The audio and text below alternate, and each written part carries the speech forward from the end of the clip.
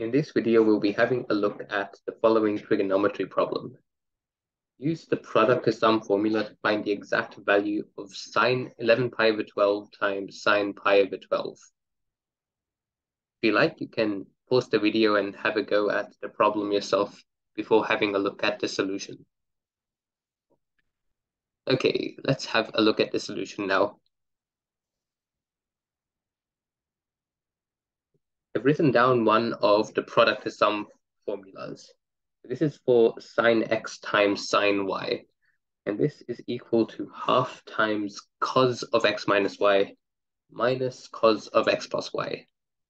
And this formula can be derived using uh, the cos angle addition formula, which is cos of a plus b equals cos a cos b minus sine a sine b if you use this formula for these two expressions and you simplify, uh, it will give you this left-hand side.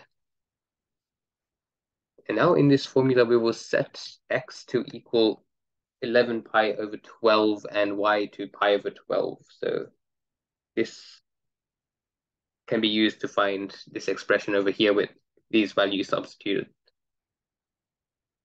So when we do that, the left-hand side is sine 11 pi over 12 times sine pi over 12. And the right-hand side, uh, so x minus y, we get 11 minus 1 over 12 times pi. And the right-hand side, or the x plus y here is 11 plus 1 over 12 times pi. And we also have the half at the front.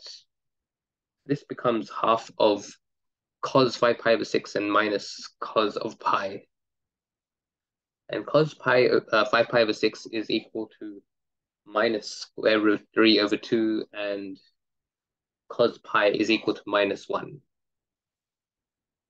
This is equal to half, and the minus of minus 1, you get plus 1, and then you bring it under a common denominator of 2, so you get half times 2 minus square root 3 over 2.